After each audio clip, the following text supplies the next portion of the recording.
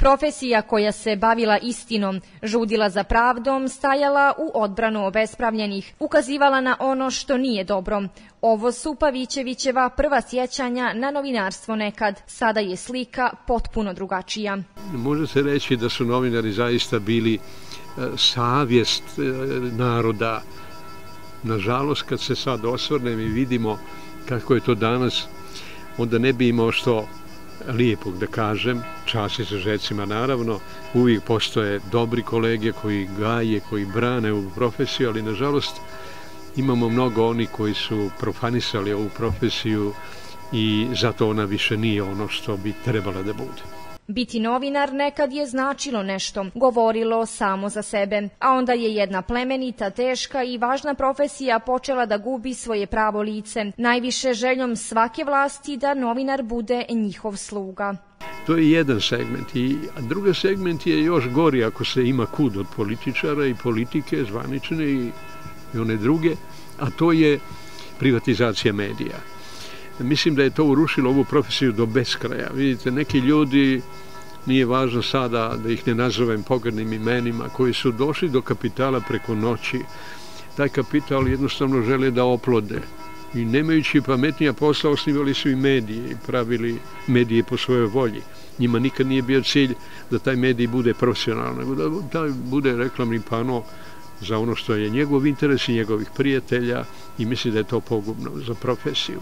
Da što bi narod rekao zlo bude veće, profesiju nisu degradirali samo politika i lični interesi vlasnika medija, već i sami novinari. Ja ih ne mogu i ne smijem amnestirati. To govorim zaista kao iskusan čovjek koji je mnoge burne godine ostavio za sobom u ovoj profesiji, ali mnogo razloga ima danas da budem e, zadovoljan kad sam ja u pitanju i mnoge moje dobre stare kolege. Danas, nažalost, nije tako, jer su sami novinari urušili ovu profesiju. Malo ste me pričali kako je to bilo nekada, mnogo drugačije nego sada. Recimo, nekada ste pravili od novinara obrazovanog, pametnog, pismenog, pravili ste profesionalca. Ali ko je to radio? Upravo novinari profesionalci. Danas toga nema. Znate, danas je izgleda najvažnije da stanete ispred kamere, da ispričate neke gluposti, Posebnu kritiku imao je za novinare i novinarke koji karijere grade na, kako kaže, reality novinarstvu. Nije dovoljno samo izgledati lijepo, a izgledati glupo. E, to, toga neki novinari, da ne kažem novinarke, danas nisu svjesni, a to je poguba za profesiju. E, nažalost, imamo danas e, to dominantno reality novinarstvom, obojeno žutom štampom i tako dalje, To jeste možda za jedan sloj građana zanimljivo i lijepo, pogotovo za mlade ljude, neobrazovane, nezavršene, ali to je vađenje duše iz čovjeka. Nisam siguran da se to slučajno dogodilo, nego je da je to neko pospješivao sasvim otvoreno zbog nekih interesa koji su pogubni za sve nas. Nekada se znalo šta može da ide u etar i ko može ispred kamere. Samo onaj ko ima znanje, koji za sebe ima godine učenja. Ispred sebe mentore koji su odlučili da je došao trenutak da se popnu na sljedeći stepenik. Vi ste nekad imali profesionalci, imali ste lektora, imali ste redaktora, imali ste urednika redakcija, imali ste urednika novosti dana ili dnevnika. Sve su bili profesionalci i vi da ste htjeli, niste mogli da idete u etar ili da stanete ispred kamere, a da ne znate ili da to ne valja. Znači, neko vas je učio i vi ste postojali dobri novinari, dobri profesionalci. Nije bilo naravno lako raditi sa lektorom u studiju dva sata bez pauze. Kome je se učio čak i kako se diše ispred mikrofona.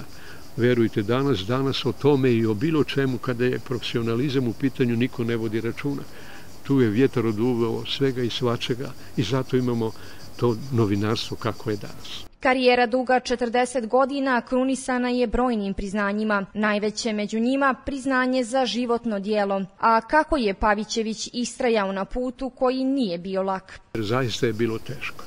Znate, ako i u životu u cijelini primijete neke principe ljudske, moralne, etičke, profesionalne, nećete dobro proći. Ali ako ste raščistili sa sobom da jedino tako treba, onda ste vi mnogo jak čovjek iz više razloga. onda ste, ako donesete jednu takvu odluku, to može uraditi samo slobodan čovjek. Danas neslobodan čovjek ne smije da razmišlja o tome. Ja sam bio mnogo rano slobodan čovjek. Naravno, tu slobodu sam kupovao, učio i stalno je unapređivao. To me vodilo svijetnim stazama ove profesije zbog koje sam često puta ova, ispaštao. Znate, imam eh, nekoliko slučajeva, neću pominjati te medije, koje su se lišili moje usluge samo iz jednog razloga što sam želio biti profesionalac. Vi danas nemate pravo da budete profesionalac.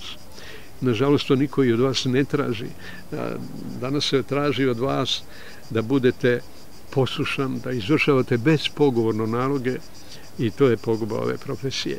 Za sebe kaže da je bio čuvar svoje savjesti i da ga je to sačuvalo grešaka kojima bi ukaljao svoje ime i svoju profesiju. Nije bilo lako ostajati i bez posla, da se razumijemo, ne samo bez angažmana, ali nikad nisam stao, uvijek sam nalazio rešenja, uvijek sam bio preporučen svojim radom i kvalitetom, niko, nisam imao svoju partiju, nikad, nemam je ni danas, nisam imao svoje tajkune koji su me propagirali i preporučivali, mene je samo preporučivala profesija, što nije bilo lako. Novinarsku karijeru proveo je kao politički novinar. Ipak kaže da ne bi ostao živ da je ostao u tom, kako ga naziva, politikanskom novinarstvu. Zato se prije podne bavio politikom, a poslije podne kulturom. U toj situaciji i naravno čitav život oko nas, politički, jer mi je to bila tako suđena profesija, da budem politički novinar.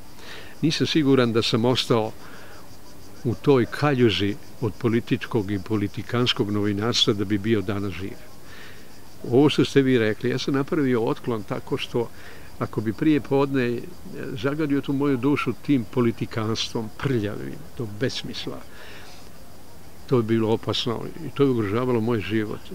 Odlazeći u jednu avanturu, bavljenja kulturom, rekli ste slikari, rekli ste hiljadu slika, sve je to tačno, ali ne smijem zaboraviti ni književnost. Znači, koliko sam afirmisao likovnu scenu, toliko sam afirmisao književnu scenu. Organizovao je preko 120 književnih večeri, preko 45 međunarodnih likovnih kolonija. Rad sa umjetnicima jačao ga je, oporavljao i kulturno hranio.